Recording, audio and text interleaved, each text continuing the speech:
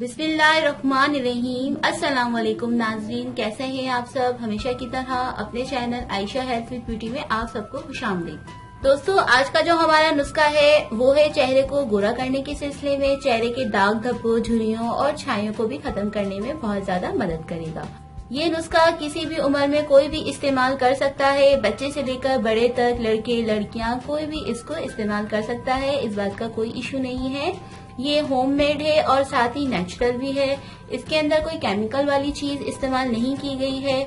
दोस्तों, अब मैं आपको बताऊँगी कि इस नुस्खे को बनाने के लिए आपको किन किन इंग्रेडिएंट की ज़रूरत लेकिन इससे पहले एक रिक्वेस्ट है कि जिन लोगों ने मेरे चैनल को फ़र्स्ट टाइम विज़िट किया है, वो मेरे चैनल को सब्सक्राइब करें और साथ ही बेल आइकन को भी प्रेस करें। इससे ये होगा कि मेरी और मजीद अच्छी अच्छी वीडियोस आपको मिलती रहेंगी। सबसे पहले हमें चाहिए एक साफ़ बॉल इसके बाद अब हम लेंगे कर्ड यानी दही। दही के अंदर प्रोटीन्स और विटामिन होते हैं और ऐसे एंटीऑक्सीडेंट होते हैं जो आपकी स्किन को निखारने में बहुत ज़्यादा मदद करते हैं।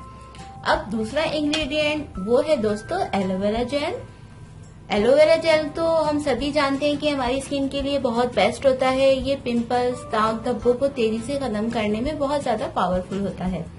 अब थर्ड इंग्रेडिएंट है हमारा एलमंड ऑयल यानी बादाम का तेल। बादाम के तेल में विटामिन ई e होता है, जो हमारी स्किन के लिए बहुत ही ज़्यादा अच्छा होता है। अब मैं आपको बताऊँगी कि कितनी कितनी क्वांटिटी में आपने ये तीनों चीज़ें एक बॉल में ऐड करनी है।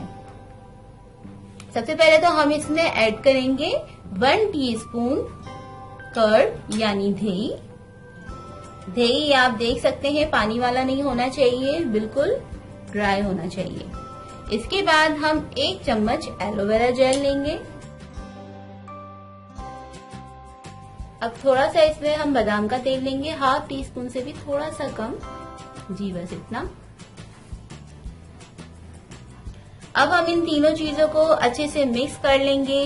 जब तक मैं ये मिक्स कर रही हूँ, तब तक आप जल्दी से मेरी वीडियो को लाइक कर लें और साथ ही चैनल को भी सब्सक्राइब कर लें।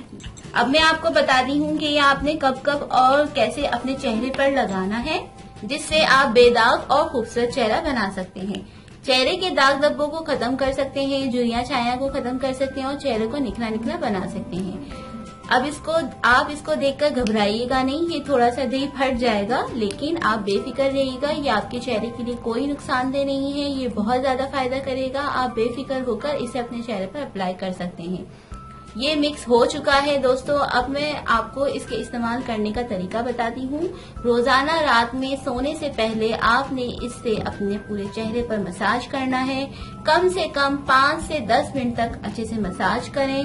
पाँच से दस मिनट मसाज के बाद आपने इसे अपने चेहरे पर ऐसे ही लगा रहने देना है। अच्छा एक बात का खास ख्याल रखिएगा कि रात में जब आप इसे अप्लाई करें तो पहले अपने चेहरे पर किसी भी अच्छे से फेस वॉश से अपना मुँह धो लें, ताकि मट्टी दिन भर की डर्ट डर्ट जो है और गंदगी वो निकल आए। इसके बाद पाँच से दस मिनट आपने इससे अपने चेहरे पर मसाज करना और फिर सो जाना है। सुबह उठकर आपने नॉर्मल पानी या ठंडे पानी से अपना मुँह वॉश कर लेना है। आप देखेंगे कि पहले एक ही बार के इस्तेमाल से आपका चेहरा कितना ज़्यादा निखर जाएगा। चेहरे के दाग धब्बे लाइट हो चुके होंगे और चेहरे की स्किन टाइट हो चुकी होगी और आपके चेहरे का रंग काफ़ी हद तक निखर चुका होगा। ये दोस्तों, आपने डेली यूज़ करना है और ये आपने एक महीने तक अपने चेहरे पर लगाना है, लेकिन एक हफ़्ते के इस्तेमाल से ये आप देखेंगे कि आपका चेहरा बहुत ज़्यादा निखर चुका है। इसे आप रेगुलर यूज़ करें, इसका कोई नुकसान नहीं है और कोई साइड इफ़ेक्ट भी नहीं है। तो दोस्तों, ये थी मेरी आज की वीडियो रंगोला करने के सिलसिले में। इंशाल्लाह फिर मिलती हूँ अपनी नेक्स्ट वीडियो को लेकर। दुआओं में याद रखिएगा अपना ख्याल रखिएगा फ़ी अमान